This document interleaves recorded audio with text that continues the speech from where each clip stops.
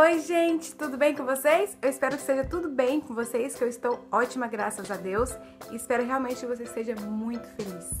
Hoje eu vim compartilhar com vocês os meus top 3 cremes baratinhos, tá bom? Que são ótimos pro cabelo, definem, dão brilho. Se você não é inscrito no canal, se inscreva aqui, clique aqui e se inscreva no canal para você não ficar de fora de nenhuma novidade aqui do canal, tá bom? E já vai dando um like se você gostar, dá um joinha pra mim se você gostar, compartilhe nas suas redes sociais com as suas amigas, me sigam nas redes sociais que eu deixarei linkado aqui embaixo, tá bom? E curta a minha fanpage, gente, Use Cachos tá bom? Vamos lá?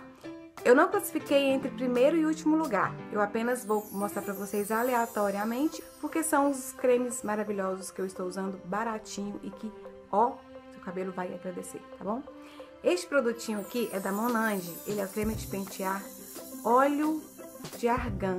Eu adquiri este produtinho em Brasília, não localizei aqui na minha cidade, fui lá e consegui. Este aqui azulzinho, ele não é para cabelo cacheado, ele está aqui proteção térmica, creme de pentear.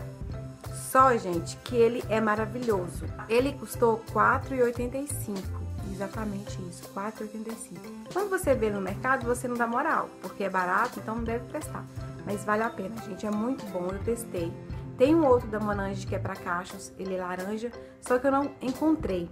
Então eu comprei esse azulzinho, gente, mas ele é maravilhoso. Ele deixa o cabelo super hidratado, super definido. E o day after dele é ótimo, dois dias assim, sem problema, sabe, no meu cabelo. Vale a pena você conferir porque ele realmente deixa muito bom o cabelo. O próximo é o também discriminado às vezes pela gente, né, por ser barato, Miele Gold Queratina, também com óleo de argan do Marrocos. Ele é ótimo, além de definir, dar brilho, ele hidrata muito o cabelo, ele deixa o cabelo bastante hidratado.